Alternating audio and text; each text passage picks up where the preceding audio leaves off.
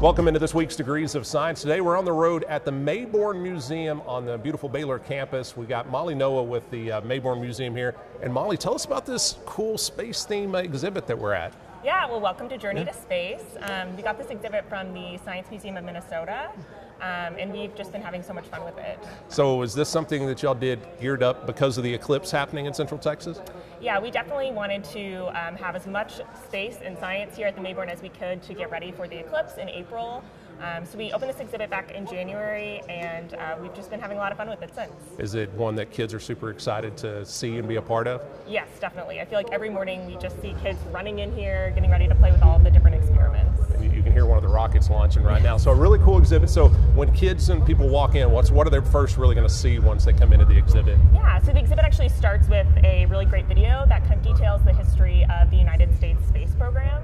Um, but then goes into my favorite section, which is all about how space can actually kill you.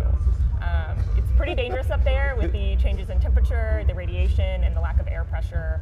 Um, humans were just never evolved to live out there. So uh, it's pretty cool to see all the different inventions and engineering feats that we've kind of created to be able to travel out there. And, and you've got a good mix of kind of artifacts and stuff that's cool, but a lot of really hands-on style uh, exhibits inside of here, right? Yeah, for sure. We definitely want kids to be able to really get their hands dirty and experiment with different ways of being up in space. Is this really a hands-on kind of thing where kids can kind of be touching and learning through this? Yeah, definitely. So the exhibit really has a nice mix of hands-on experiments, videos, and artifacts. Um, so kids can play for a little bit, then they can learn for a little bit, they can sit for a little bit. Um, so you can really spend a lot of time in here. Is there a particular age, or is it from young kids to adults that are enjoying this? Yeah, I would say starting at maybe age three, hmm. um, and then all the way up to you know 85 is what I would say.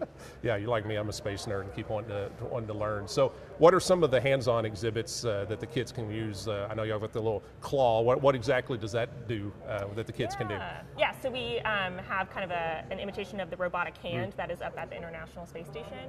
Um, so kids can kind of learn how to use the claw to pick up uh, like a silver ball mm. and drop it into a bucket, mm. um, which is deceptively hard actually. Um, it really gives you an appreciation for how much work the astronauts are doing up there using these claws to dock different space stations and mm. things like that. So how, long is this exhibit going to be here at the Mayborn? Um, so it will be here through April 21st, so plenty of time for people to see it after the eclipse. And are y'all expecting a big influx of people when it gets to in and around the, the eclipse happening? Yes, for sure. We have been preparing for the eclipse for two years. Um, we're very, very excited, and we plan to see quite a few people at that time. So it, hopefully this will introduce people from the area to the Mayborn. What, what else besides these this temporary exhibit here do you have that kids may enjoy inside the, the museum?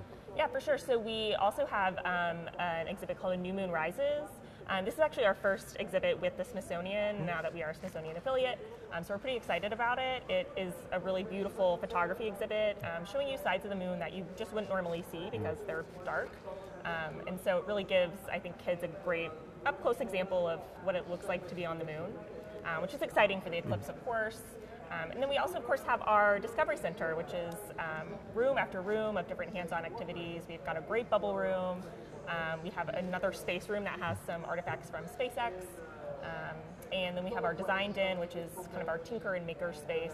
So there's definitely lots of stuff to do here. You can spend all day here. How cool is it on y'all's end to have an event like this, the Eclipse, that's kind of opening up kids to want to learn about science and STEM related uh, information? Yeah, this is kind of the dream for us. Our entire staff has been so excited for literally years about this. Um, we've been developing, you know, different lesson plans and going out into the community to teach kids and teachers about the eclipse. Um, so for us, this is like very exciting. We're, we're really happy. All right, so I got to get hands on on some of these. Why don't we take a look and kind of show me around some of these cool exhibits? Yeah, definitely. So one of the cool things that people probably know about in space is the International Space Station. But tell me about this cool thing you'll have to kind of teach some of the younger kids about the setup of the space station. Yeah, so here we actually have a recreation of the International Space Station, but we have these tiny dolls oh. that little kids can play with. Um, so here at the Mayborn, we obviously really believe in play mm-hmm. as the best way to learn. Um, so we love that kids can take these little astronauts and place them in different parts of the International Space Station um, and kind of go through what a day would be like. Yeah. So they go to sleep, they can eat, they can do experiments.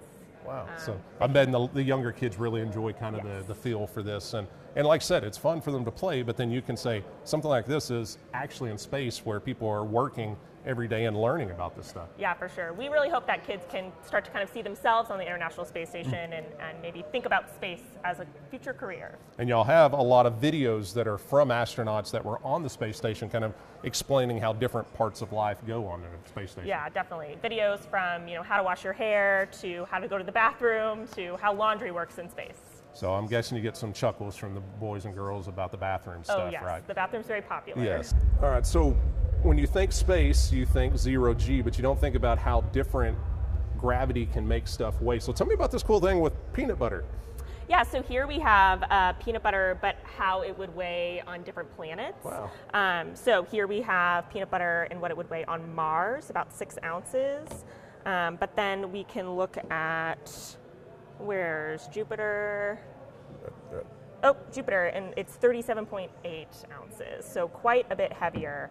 And that is actually due to different gravity on different planets. Wow, that's like feels like nearly nothing to feels like a bowling ball you're picking up nearly. So the kids enjoy getting to touch and kind of mess with this stuff to kind of see how that weight could differ. Yeah, yeah, definitely. I feel like peanut butter is a really fun way to talk about gravity rather than maybe some of the more boring math ways. So the Molly, I've got some really cool artifacts here. Tell me about what we're, we're looking at in this case. Pretty cool to have stuff from Neil Armstrong.